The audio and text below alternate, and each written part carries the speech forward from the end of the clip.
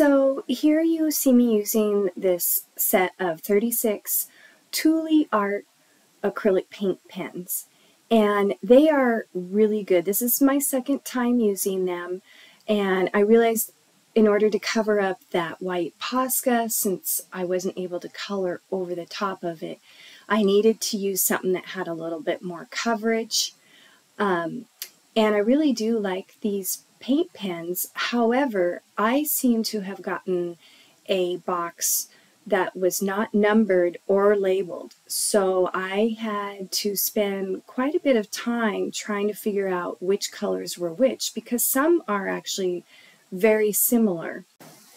So I contacted the company and they got right back to me and said that there was some out there that were not numbered and that they were trying to clearance those out and that they would send me a, another box that was numbered.